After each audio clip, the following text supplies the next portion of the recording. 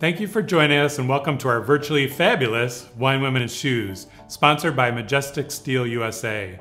I'm Craig Wilson, CEO of Ronald McDonald House Charities of Northeast Ohio. COVID 19 has impacted all of us, particularly the families we serve. As you can imagine, these families are already going through the challenges of the illness of their child, and now they are facing a pandemic. It's such a stressful time for them, so it's our job at the Ronald McDonald House to help them get through this time as safely and supported as possible.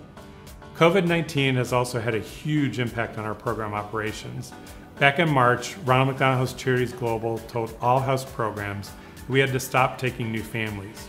We could continue to serve the families already at the house, but needed to drastically change how we did it to keep everyone as safe as possible. We had to suspend our volunteer program, both individuals and groups.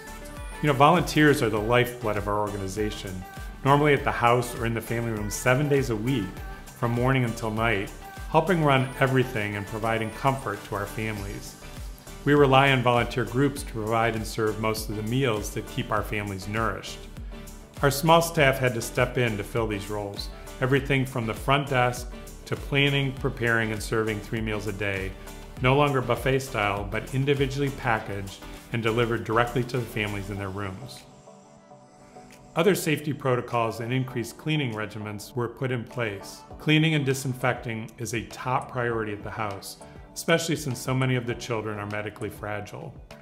All of these measures have increased expenses, food we now have to purchase, along with the cost of additional cleaning supplies and safety equipment.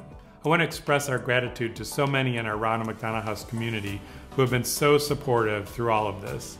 Companies, local restaurants, and the McDonald's owner operators who have stepped up to send meals, community members and groups holding wish list drives and sending critically needed supplies, and all of the people who have generously donated to help us cover some of the extra costs. Thank you all so much. We really appreciate and need your support. The great news is that with all of these measures in place, over the past couple months, we have slowly begun reopening our programs to new families. We're starting to feel a little bit of sense of normalcy again, with more people coming and going, and more importantly, children's laughter in the house again. At this time, your generosity is truly needed and appreciated. Right now, expenses are up, revenue's down, and we couldn't continue to serve families like we do without you. We miss seeing you all in person, but have planned this virtual event with you in mind. Thank you from the bottom of our hearts for being here and being fabulous. And with that, special thanks to our event committee, event chair Barb Anthony, Key to the Closet chair Kim Beidler, Jamie Shredinsky, our sponsors, and our fabulous co-hosts this evening, WKYC's Sara Shookman and Joe Kronauer.